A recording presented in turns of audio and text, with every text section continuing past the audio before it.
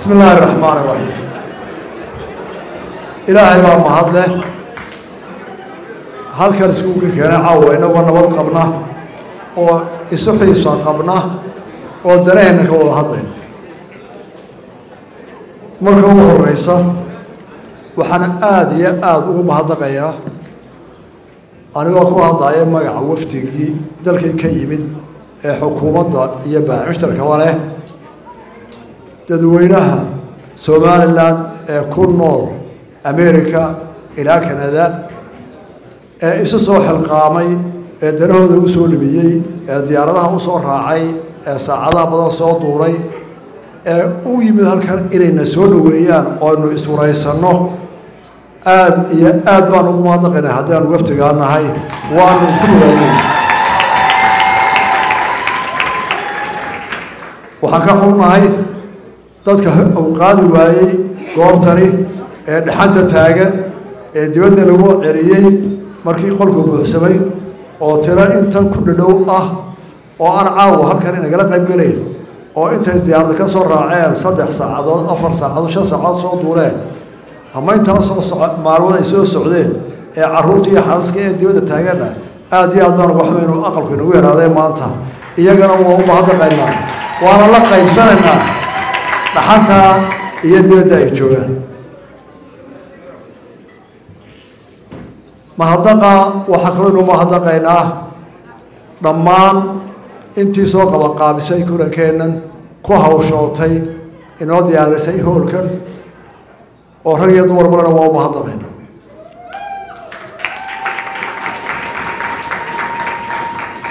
waxaan mahad gaara u jeedinayaa oon jecelahay inuu sacabka soo dhaweyno madaxa wakiilka somalilan ee halkan jooga bashiir sheekh cumar good oo aan inu istaago. Oo runtii runtii taariikhda dhigay hawlkarnimo iyo wadaninimo oo ay ka muuqato wafdigayga intaa leeg qorshaha aanu galnay ee caalamka dhan laga dhegaysanayo inuu xafiiskooda uu isaga tiradiisa iyo odaynimadiisa hormood ka ahaa aada iyo aad baa loogu mahadnaqaya waa taariikhda dalka kuleeyahy mahadnaqa kadib horta qolada qabanqaabisa mid unbay ayma ka yartabayaado dee ila warkan waa la isweydaarsadaaye. Idinkaaba aqoon iyo xorbaloo ma madhnidine hadalka in anaguna lagu sii daayo xaggiina xogkayma waayaana dee qolada waa arrin cusub waxa loo warrabo dadka socotada oo dadka meesha deganaayo warrabaan hase yeeshee dee canaano maayo waa haltaasina waa garab martay kolka aad baan uga xumahay inaydaan dee noogu horreyn hadalkii ila marti baanu hayn sida cadoo hayn intaa markaan ka gudbo haddaad tihiin somaliland dalka ku nool qurbaha guud ahaanba iyo reer maraykan iyo reer kanado markasta isku lamaantihiin waxaa hubaa oy taariikhdu qoraysaa in intiina halkan fadhida aabbayaashood iyo awayaashood qaarkood. Qaar ka mid ah. Ay ahaayeen gobonnimada soomaali oo dhanba ku faanto dadkii u soo halgamay.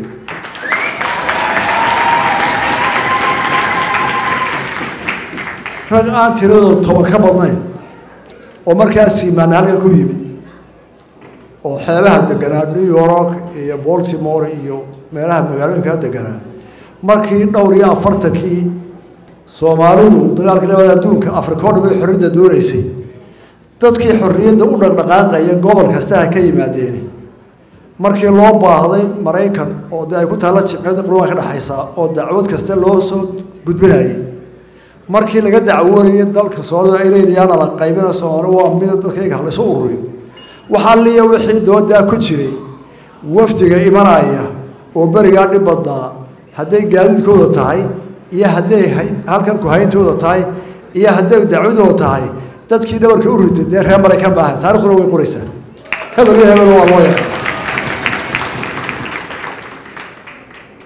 markaynu taa ka soo gudubno halgankii asanan halku dabka u xoog badan ka shidmay shirkan waa lagu qabtay london aroosidda halgankana waxaa laga soo bilaabay xamar iyo jidda iyo abudabey iyo meel kastoo la joogay.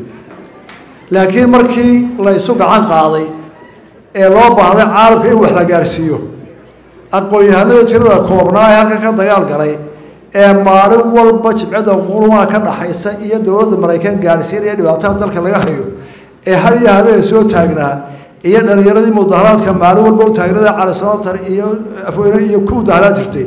Dee reer maraykan baa haya halkan washington baa dadka ku dhintay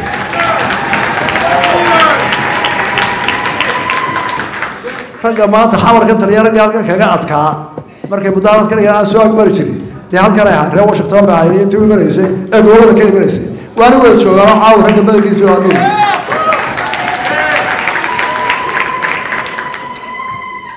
halganka markii dalka la xoreeyeyna dhismihiisa dhaqaale halkii laga soo bilaabay dee dalkuna waa laga yimi taariikh waxaa ku leedahay weyn isgaarsiinta dalka ka bilaabatay.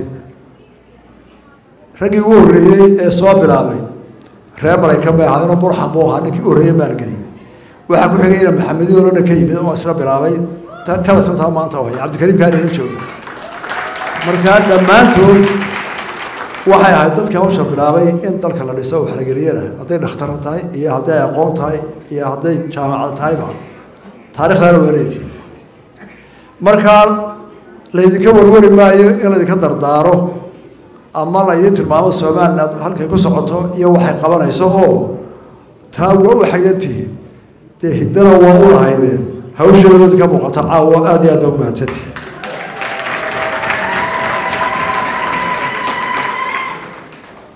dalkii wasiiradu in badan bay ka warrameen oo waa la taataabtay si guud markaan u soo koobo maxaa dalkii ka socda maxaa la soo maray markaan soo koobo.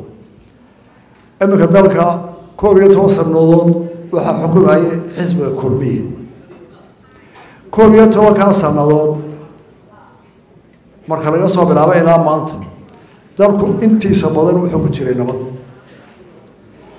Cadowgana in la riixa mooye maalina meel ku joogin maalin waa la durkeeya xadkii waa lagu sii dhawaada xagga horumarka waxaan odhan karaa howlaha muhiimka oo saddexbaa aada iyo aada inoogu cus saddex arrimood. Rag badan oo dee igana waa igana da-weyn igana aqoon badan igana fariidsan baa dee dhegeysanaya. Hase yeeshee maadaama xilka ay saarteen oo tidhaahdeen bal hadda socdo aragtida lagu socday toban koo iyo tobankaa sannadaa soo koobo horta nin baa la yidhi dhowr waran ku dhaceen oo muddo meel kaga taagan yahay waarkee lagaa gooyaa waxaanoo warana kabadhida burinka salka iga jara balorta aan fadhiistee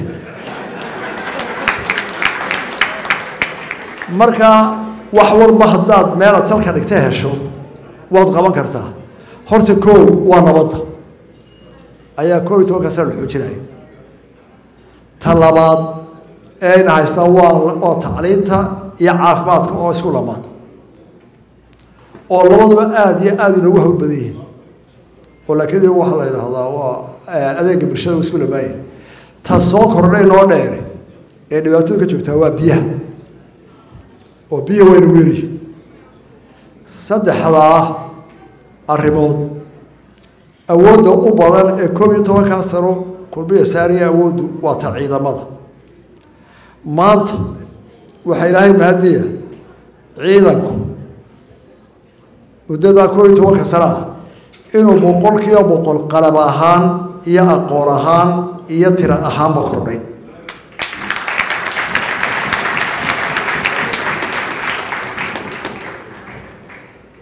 Biyaha koob iyo tobankaa sano waxaa la qoday ceelasha dhaadheer rigaga ah in ka badan laba boqol iyo konton ceel.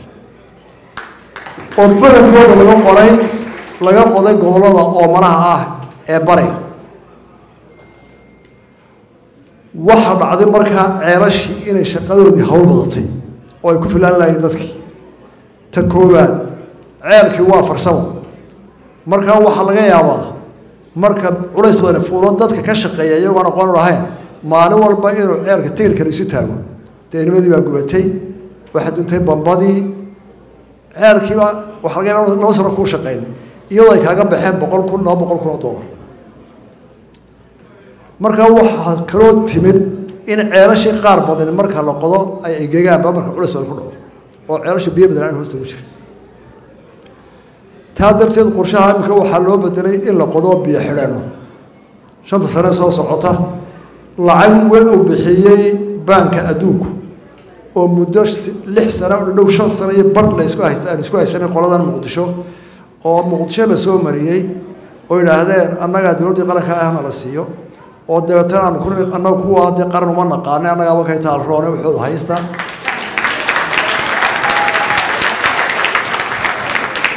Shan sano ayaa baanku adduunka lala rafanayey iyagana ay ku adkaatay. Mana isticmaali karaan. Ilaahay maada ka gaadhee doctor cismaan iyo sacaddi kale idhahda dagaal badan badan ka galay iyo ciddii kale la caawisayba dhowaan bay soo wareejiyeen lacagtaasoo afar iyo toban milyan ahayd. Inteeda badan toddoba milyan oo a waxaanu ku tala jiraa gobollada in laga qodo biyo xidhanno waaweyn oo dadka hayn kara. Meelaha ka suurtogelayso markaa biyuhu qorshahoodu iminka waa cad yahay waxaynu ku go'aansanaynaa inaynu qabanno biyo xidhanno waaweyn dalka intiisa oo malahaan aynu ka horreysino dalku maanta biyuhu way ka yaryihin dalka biyuhu way ka yaryihin magaalooyinka. Lixda gobol ee waaweyn burco mooyaane iyo ceerigaabo mooyaane. Meel biyo ku filan oo hoose oo iminka la ogyahay ay jiraan. Ma jirto. Booraba ka soo bilow waa oomane. Sanad walba ceel deg degaa la qodaa oo kolba da wax laga raadiyaa. Waayo dadkao dhan magaaladu soo degi ceelasha laga qodaana waa ceelo inta badan shaaloowa oo meel biyo dheer oo jifa waxa ugu sugaysa boorame meesha la yidhaahdo baki oo buur hoostood ku jirta oo biyo badan leh oo haddii iyada laga qodo la soo saaro laga yaabo in saddex boqol oo mitir kor loo soo qaadayo oo kharash ku baxaya aad garan kartaan biyaha xoogga lagu soo riixayo iyo electricity-ga oo suurtagalaya. Gebeladaa lamida heelasha la qodaa waa yariyi dadkiina wuu soo wada degay. Hargeysoo milyan iyo bar ku nool yihiin geed deeble biyaha ku jira lama yaqaano. Labi afar iyo toban ceel baa imika qodan. Magaalada rubiceed ma waraabiyaan waayo bablishigaa ka badan. Magaaladaa dhamme boodi ay ku cabtaa waana siina socon maayaan. Waayo ceelashii iyo dooxyada dhowaan dhan waa la gaadhay waa ceel yar oo shaala wuu dhammaanaya. Hargeysa waxay leedahay intaasoo doox oo mara oo biyuhu qaadaan oo taqaaniin. Oo waddada naga laaya waxaynu u baahannahay inaynu doox walba qabanno si ay magaalada iyo bableeshiga koraya dheeraynaya aynu helno magaalada ood weyne intaan ogahay tobankaasna waxaanu ka qodnay lix ceel oo mid ay shan boqol oo kun dollar ku baxday. Lixdii ceel saddex markay socdaan ee malaha haddii loo baahdo kun halaad lagu soo daayo geela ama shan boqolba iyadoo magaaladii la gaadhay ayuu go'aya ayuu go-a ceel xubaa ka mida maxay siciid baa ka mida lix baanu qodnay midna biyo rasmi oo weyn u keeni waayo markii bale hal la yidhi hala qoda dhaamna dadku caqliyad bay qabaan reer beerihiin biyaha la qabtaa waxay dilayaan deegaanka oo xoolihii baa soo agdegaya marka dhulka xaalfinayaana waa in ceel hoose la qodaa deetna xooluhu ay fulaan khasab waxaa ah meesha la yidhahdo ood weyne in dhaam weyn loo qodo oo doo hadaad badheena weyn. Haddii kale magaalo noqon mayso. Lixdan kilomitr lixdan kilomitr baa looga dhaamayaa ood weyne burca laga soo dhaamaya. Meesha la yidhaahdo salar caynabo oo iminka magaalo weyn noqoto balosh ku kordhay laba dhibaataa jiray mid waa mida biyaha inta badan laga helaa waa qaraadh waa talabaade waa dhul biyihiisa iyo ceelashooda loo aroori karaa ay aada u kala fog yihiin gobollada ugu haradka mid ka mid yihi waa dhul xoola daaqeena laakiin biyaha macaanka aad ugu arooreysa way kala fogfog yihiin nasiib wanaag. Nasiib wanaag. Iminka maalmaha dhaweyto bishii u dambeysay tobanka ceele la qoday kii u horreysay caynabo laga qoday si magaalada iyo deegaankeeda ugu baxo biyo macaan buu noqday oo weliba xooga markaa waa la waa lagu nastay.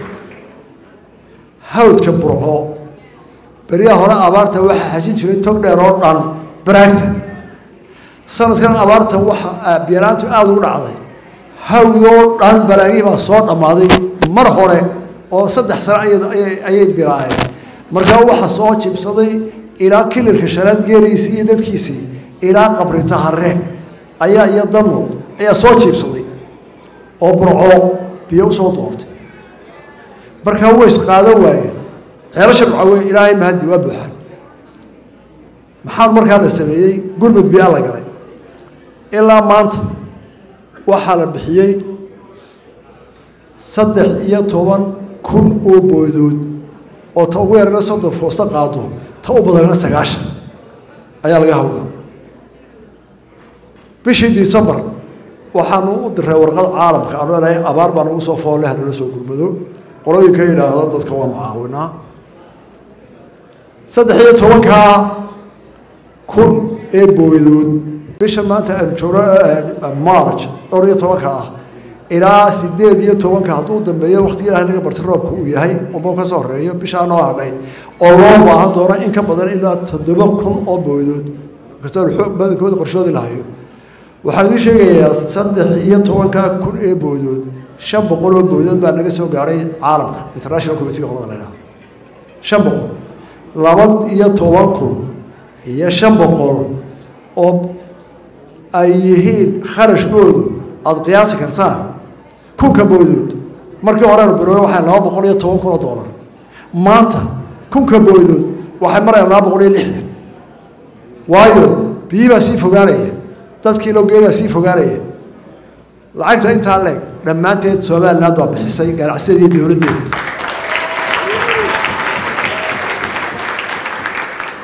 weliba ganacsado dhan ma aha waa afartan la yaqaano ugu waaweyn. Waxaa jirta ganacso dhexe oo intaa ayay ka badan ma bixin karta. Laakiin ku gabada hebel baa joogo ku waaweynaa baa joogo ku gabada. Laakiin maanta lacag badan haya iyaguna anigu waxaan rumaysana markaan iminka hoos somaliland u bartay. Oo aan ku kalsoonahay dadkana iyo ciddii aan la hadlayna aan ula tagaa haddaanu nahay somaliland ma baryo toban in lacag nagu filan oon isku maamulno waanu haysanaa waana idin caddaynaya baacushirka somaliland maanta waxay ku qiyaasaan qolada dhaqaalayahankii ugu yaraan sannadkii lacagta aynu soo gashaa ilaa laba bilyan inay tahay. Maanta waxaa hubaana ganacsadeenu inay toban bilyan ka badan hayso. Oo nin walba meel yar yar ku hayo. Nin walba meel yar yar ku hayo. Haw kala badnaade. Haddii lacagtaa ay isla kaashadaan iyaga dhexdooda oo ay iyagu wadaagaan qof qof inta ay isugu tagaan. Dowladdana ay isla fahmaan ay u samayso adeeg wanaagsan iyaga taraafika kale hogta ay noqoto facilitation.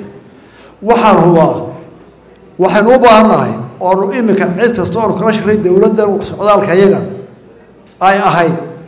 War lacag waanu haysanaa naga qaada xanibaadaha aada leedihiin laydinma aqoonsanoo baanaanka caalamka iyo mashaariic hay'adaha waaweyne caalamka inaanu la macaamilo lacagta iyadan idinoo baahanta u baahna aanu ku wada shaqaysana annaguna anaan idin baryana aanu wax dhisanno. Horta fariintaanu u sida dowlad marka taase.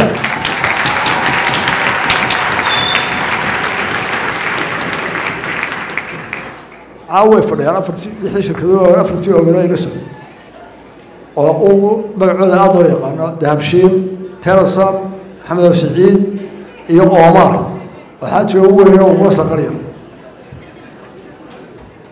waxaa ra'yiga aanu isu soo raacnay ahaa markaanu hoos u waraysanay waar dadkeenu wuu yaryahay ganacsigana waynu naqaanaa lacagna waynu haysanaa. Waxaynu u baahnay inu caalamka u sheegno ma nihin qolo baryutabaysa waxna si yeeleh annaga wax haysanee weliba qoladan maraykana lacagta adduunka xukunta waar maraykanow lacagtaadii annaga hayna doolarkii shaahaanu ku cabnaa koobka shaaha. Ah waa run markaa waxaan u baahanahay xanibaadda aada leedahay laydma ictiraafsanaa bal iska dambe horta lacagta meel ictiraafsanayn inay wada shaqayso taasina meel aada iyo aada ucan bay maraysaa oo waxaan ku rajo weynahay dhowaan markay isku tagno.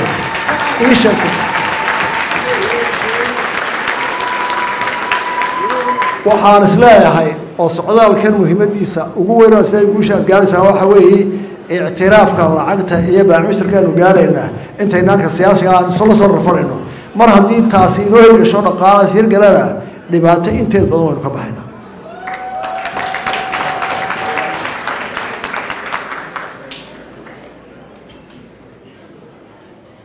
Xoogga aynu u baahannahay iminka. Dalku tobankaa sano shantii sane dambe anigu iminka aan afar joogay labadii sane hore waxoogay wagash wagash. Xagga amniga ahaa amniga may ahayn dowladda iyo shicibka hoseeya amnigu wuxuu ahaa dadku oo isku dhaca. Sababtana waxaa keenayey dagaaladii hore ee soo dhacay ee iminka soddon sano laga joogo. Bini aadmiga waxay ku reebaan maskaxda raad xun bay ku reebaan.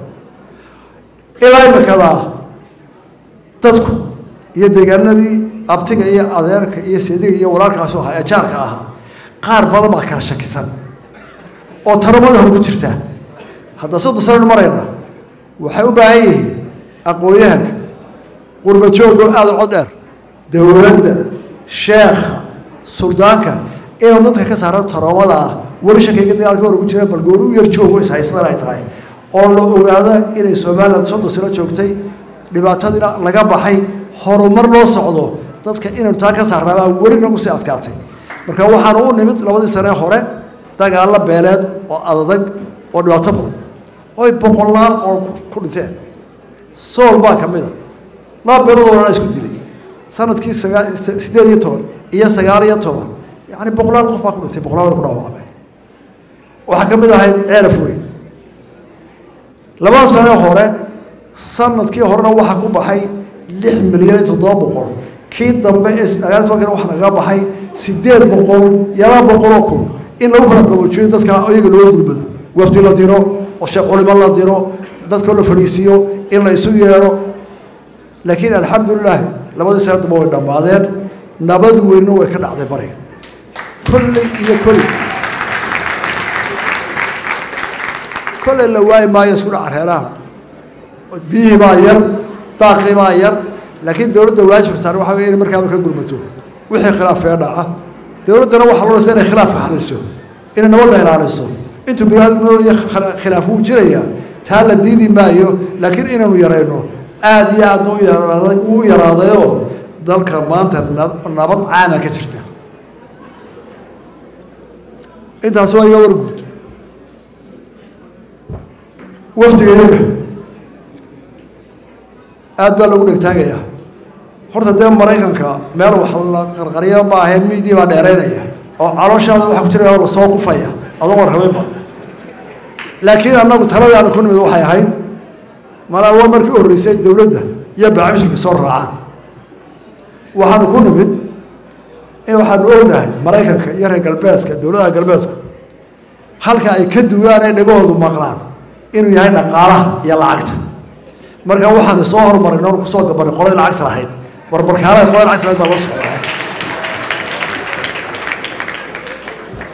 haddaad dagaal tegaysa dee ciidan baa la kaxaystaa haddaad dagaal tegayso haddii madadaalo iyo maaweelo la wadana dee qoladaha gabayaaga iyo ruwaadii mataajila la kaxaystaa haddaad beer qodaysana dee qolada cagabta taqaanaa la kaxaystaa laakiin galbeedka iyo maraykan oo halka laga bilaabo dhaqaalaha iyo lacagta iyo maxaa la yidhaha consumerka ay tahay waxa qasab noqotay inaanu nimankii odayaashaa soo kicino oo iyagana aanu tusno sida lacagta halkan looga isticmaalayo iyo sida loo koriyo ay waayaalka arkaan annaga oo qaran aanu dhahno waxa loo bartay un dad yimaado inaa abaar baan haysa waxna siiya dad caynkaasana wax noo doona waxaanu doonaynaa waa naga kaxaysta hay'adiin annagaa isku filane lacagteeda noo ogolaada annaga oga marsan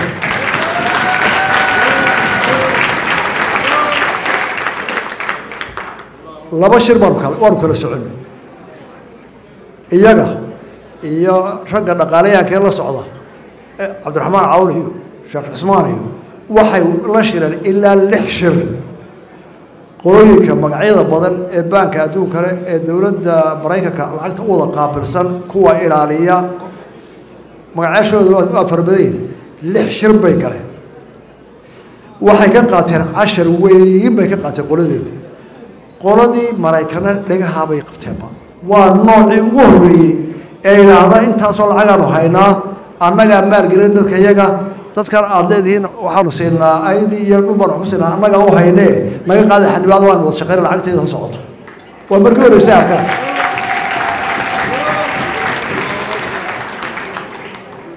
lixdooda shir way soo bixi doontaa waana la qori doonaa wixii ka soo baxay. Waxa aan warka ku haya sidii warbixintooda ka dhageystay markaan shalay kulannay rajo boqolkiiba boqola inay ka qabaan in arrintaasi deg deg ay wax ugu qabsoomayaan hadda waxay ka shirayeen saaka iyagu qolada maamishirki inay looyara qabsadaan. Looyaradaasoo ka hadli doona siday u macaamilayaan inay dulmita ina lacagtooda loo ogolaa waayo inay iyagoo somaliland hargeysa jooga ay la macaamilaan baanka adduunka iyo mara iyo lacagta ninka new york jooga. Looyarada u qabsanayaan waana ku tala galay waana ka heshiiyey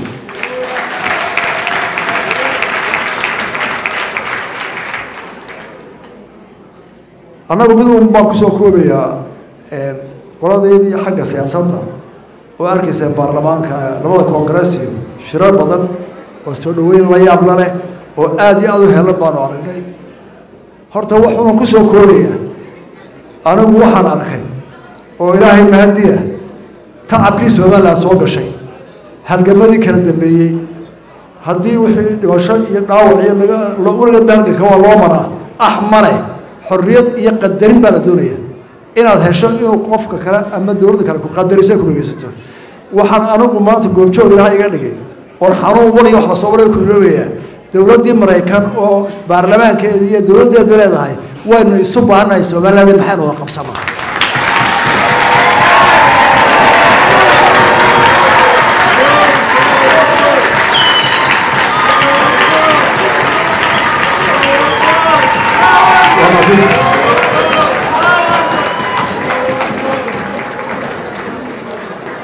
oo xaqiiqa oo maaragtay dee idinba midiha ka arkayseen qof wal oo somaliland hela halgankiisii iyo wixii xanuun gaadhay iyo raggiini halkan joogay ee steytimeeyadii horizon qori jiray ee keligood u jibdhigi jiray waxaa le wixii dowladdii maxamed siyaad barre xoogga weyneyd raggiini halkan jaridii horizon ka qori jiray dagaalami jiray iyo kuwa bidaarta maanta leh mudaharaadka maaluba barnaanka taagnaan jirayo waxaad ku ilowdaan maraykankii maanta war maxaan wada qabsanaa somaliland tacabkiina waa kaa ilaahay maadka ugu jeedaa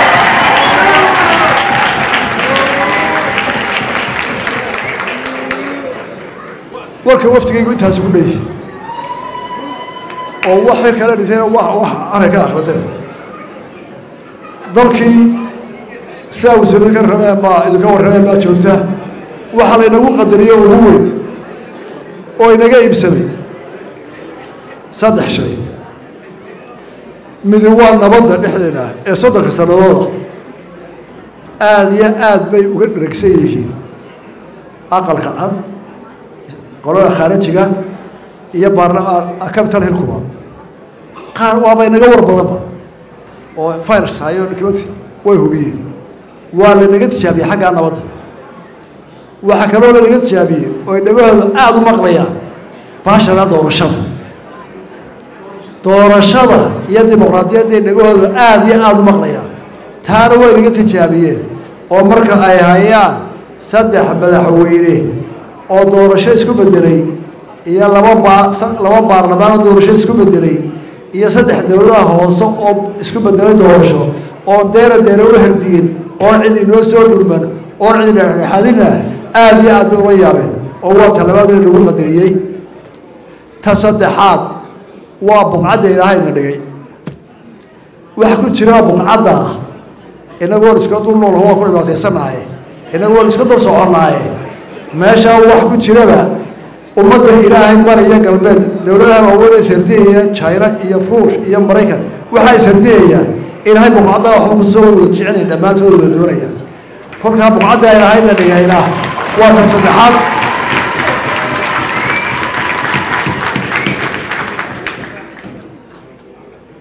Haddii ilaahay buqcaddaa warasana dhigay innagana nabaddeena waafajiyey horumar iyo dhaqaalena ilaahayna siiyey. Aynu isku maamuli karno markaynu waxayna isu geysano dee waxay ila tahay waxa inoo hadhay waxa weeye inaynu khilaafaadkeena yarayno meelaynu joognaba khilaafaadkeena inaynu yarayno oo aynu ka duulno intaynu wada leenahay aynu heshiis ku nahay baa ka badan intaynu isku khilaafsannahay taana horseedka koowaad waxaa laga rabaa aqoon-yahanka. Dee aqoon-yahanka in qurbajooggu badaya dee qurbajooggiina aqoontii iyo awooddii qurbajoogga iyo adduunkuna waa maraykan dee maraykanna idinkaa noo joogo naga matala dee inaad taa nagu hogaamsaan baanu doonayna